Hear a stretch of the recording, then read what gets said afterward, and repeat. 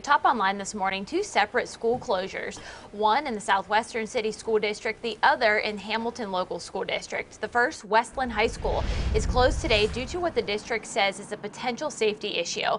In a message to parents, the district said they closed, quote, out of an abundance of caution and to give us time to meet with law enforcement officials to develop a plan to ensure safety moving forward. No information was released on what the safety issue specifically was.